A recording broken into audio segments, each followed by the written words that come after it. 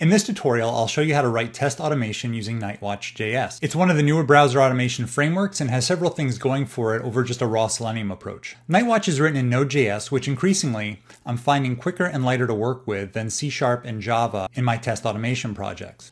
Nightwatch.js natively supports dynamic waits in the page object model, which I went over in an earlier video for Selenium and Java. And lastly, a lot of testing shops are moving to Selenium Grid, which Nightwatch supports. And that grid support allows Nightwatch.js to be used with tools like Sauce Labs and BrowserStack for cross-browser testing and parallelization. So now that I've explained that, let's get into writing our first test. All the source code here can be found on my GitHub. That's at reallyMello, and I'll put a link to that in the comments. If this is the first opportunity that you've had to work with Node.js, the first thing you need to do is install it onto your computer. So to do that, we're going to head over to nodejs.org and download Node if you haven't already. And it has installers for Windows, Mac, and Linux. So to start our test project, let's create an empty directory. I'm going to call mine Nightwatch Intro. And then once you're inside that directory, we'll need to set it up as a node project. And to do that, we're going to use a command line option called npm init. npm is the node package manager and it makes everything awesome. So what this npm init command does for us is create a package.json file that you see the output of here. So that allows you to do things like name and version your project. It also keeps track of any dependencies later on. So now that this directory is initialized as a node project, we can use npm to install our required files needed to run our Nightwatch tests. So the first dependency we want is Nightwatch, so we're going to use npm to install Nightwatch. And adding this save option at the end will add it to the package JSON. So if you move your source files to another computer or to a coworker, all they would need to do is run npm install inside your directory and it will fetch all the dependencies automatically and install those on their computer as well.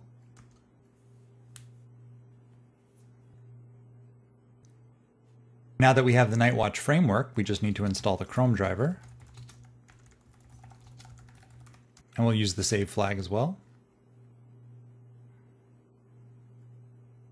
And now we're going to add two configuration files that are going to make things easier as our test suite grows. So let's create a new file and we will call that nightwatch.json. And to save time, I'm just going to paste that in here. And this Nightwatch JSON file allows you to specify your source folders containing your tests and your page objects, as well as this globals path, which we're going to create next. This is where you put a lot of your common logic that will allow you to prevent a lot of code duplication, allowing your test to stay more dry. So let's create that next. Again, I'm just going to save time by copying and pasting.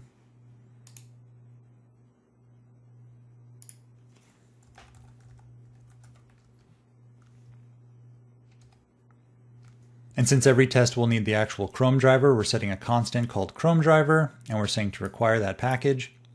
And also in this globals.js file, you can put the equivalent of your before all and after all test suite pre and post logic. The before will run at the beginning of our test suite and start our Chrome driver. And then once all tests are done running, it's going to stop the Chrome driver and exit gracefully. Now that we have the prerequisites set up for a Nightwatch.js test project, let's write a simple test that goes to the Google homepage and submits a search for Nightwatch. And since Nightwatch supports page objects, we might as well leverage them in this test example. If you haven't already seen my other video on why the page object model is important, you should click on the subscribe button and watch that later. But briefly, the page object model allows you to write tests with less duplication of code, which in turn makes the tests more easily refactorable when the website layout inevitably changes and breaks all your tests. So to hold our page objects, we'll create a new folder called page object. And inside there, we'll create a new file called google.js. And inside here is basically an exportable module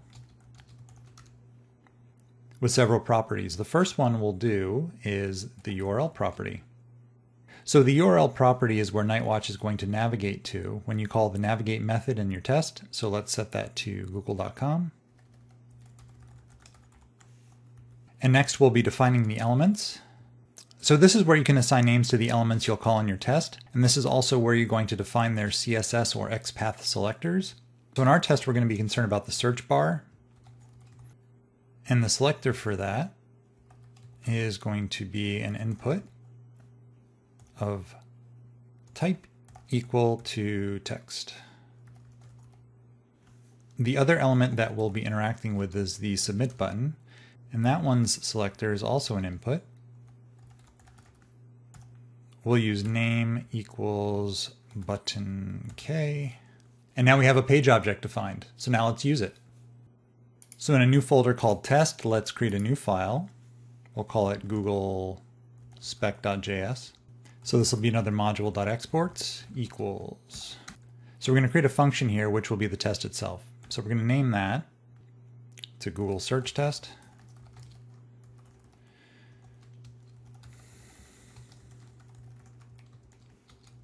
Now we're going to create a variable called Google that we're going to set equal to the page object model that we just defined.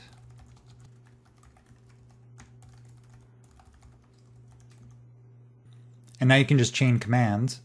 So we're going to do google.navigate. And like I mentioned earlier, that will use the URL property that we set on the Google page object. So this will take it to the Google homepage. And then we can assert that the title is Google. And then once we've done that, we can assert that the search bar is visible.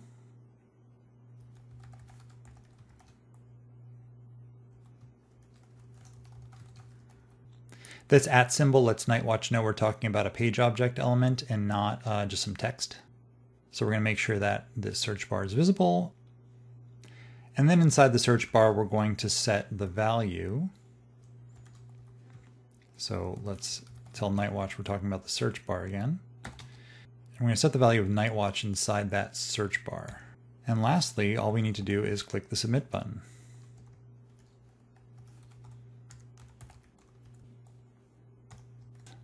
Congratulations, we've written our first Nightwatch test, so now let's run it. So now all we need to do is type Nightwatch into our root project directory. We should start seeing some nice little output here.